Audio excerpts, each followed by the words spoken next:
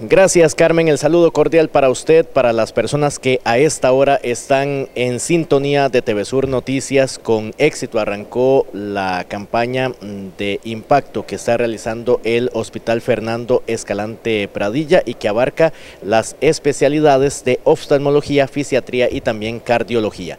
Les eh, voy a mostrar estas estructuras que se armaron aquí dentro del gimnasio del Polideportivo de San Isidro del General y que son parte de esta jornada que busca alcanzar a una población de unas 1.200 personas que tenían citas para 2024, 2025 y hasta 2026 y que se le adelantaron esa cita para este mes de septiembre del 2023, que es una acción muy importante en cuanto a abarcar esas listas de espera, reducir ese tiempo de espera que muchas veces se convierte en un inconveniente bastante eh, complicado para los pacientes.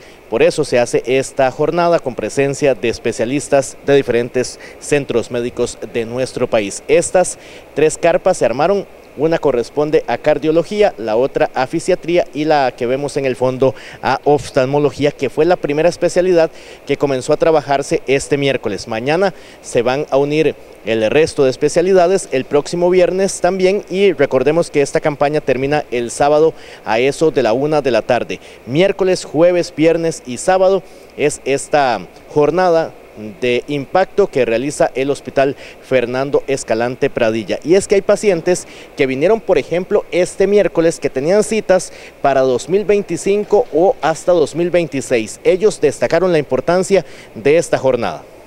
Ay, no, muy importante, muy contenta por esto que se ha realizado, porque ya mi mamá tenía una cita para el 2025 y que se la adelantaran así es una bendición de verdad. Y esto me parece, bueno, de las cosas buenas que suceden, yo creo que esta es, una, porque en realidad esa espera, ¿verdad? Que a veces hay que tener, ¿verdad? Porque sabemos que citas con demasiado tiempo, ¿verdad? Que hay que esperar, y me parece muy bueno. Y creo que es de, alabar este, esta campaña, muy, esto es demasiado bueno para, para mi parecer y creo que aquí lo bueno sería pues que siga sucediendo, ¿verdad? Esto. Yo creo que es una de, las primordiales de, de las personas porque la vista es, una, es algo que uno necesita para todo. ¿Cuándo tenía usted la cita? Este, la que vino fue mi esposa, ya, ya yo me la había hecho en, el, ahí, en el hospital, me la habían hecho. ¿Y para qué año lo tenía su esposa? Mm, para el 2026. O sea, es un adelanto increíble. Sí, sí, para, para mí es, algo que, que, le agradezco a los médicos lo que hayan hecho porque sabe que la, vista, más de una persona es la que está haciendo lo que hacer y ayudándole yo en, lo que era el asunto de la cocina, porque estaba muy dañada de la vista, de la vista ya, ya la vista, la, izquierda ya la había perdido total. Y, y, hasta para esa, para el 2026 es demasiado tiempo. Bueno, muy importante para lo que es la salud visual, ¿verdad? En caso, hoy estoy acompañando a mi mamá que viene de Buenos Aires. Tiene ¿Para cuándo tenía la cita su mamá? ¿Para qué año? Mm, creo que como dos o tres años posterior a la fecha de hoy. O sea, es un adelanto importantísimo. Claro que sí, sí. Y hay que aprovechar, ¿verdad? Que, que nos llamaron y y nos contactaron a tiempo. Les comentaba que la proyección en cuanto a alcance de pacientes durante estos cuatro días anda por 1.200 personas, que es un avance muy importante en esa lucha para disminuir la lista de espera aquí en el Hospital Fernando Escalante Pradilla en Pérez Celedón. Todo muy bien, los pacientes han, han fluido con normalidad y todo, todo está saliendo bien hasta el momento.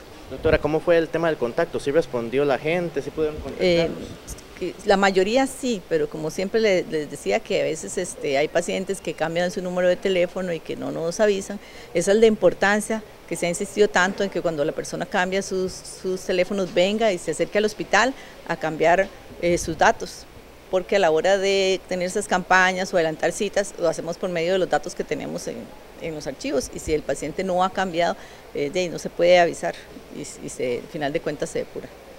¿Qué impacto tiene en esa lista de espera esta, esta jornada? Ah, este, imagínense que esperamos ver 1.200 pacientes en estos 3-4 días. Eh, eso es de gran ayuda, porque vamos a adelantar bastante los pacientes, por ejemplo, de ECO, casi 700 pacientes se van a adelantar y, eso imagínense que vamos a empezar a, correr los más, los, en los espacios que quedaron de estos se adelantaron, vamos a empezar a correr eh, citas y va, va a tener el paciente su cita más pronto. Entonces, eh, vamos a impactar positivamente en la salud de, los habitantes del cantón. Se tomó la gente que, estaba en espera un poquito más lejana, ¿verdad? Ese fue el procedimiento. Así es, en estos son los pacientes que más, más espera tenían, este, para ir corriéndolo en, orden. O sea, no, no sería justo que cojamos al que acaba de llegar, donde hay pacientes que han esperado mucho tiempo por su, por su cita. Entonces así es como se va llamando, para ir impactando por plazos. Con gran éxito arrancó este miércoles la jornada de impacto, continúa mañana jueves, el próximo viernes. También estarán autoridades de la Caja Costarricense de Seguro Social también haciendo una visita en esta jornada y estará culminando el próximo sábado, por supuesto, estaremos con detalles aquí en TV Sur Noticias, en TV Sur Pérez Celedón. Carmen, desde el Polideportivo, este es un reporte de Kevin Serrano en cámaras, un servidor Johan García Gómez, vuelvo con usted al set principal con más información.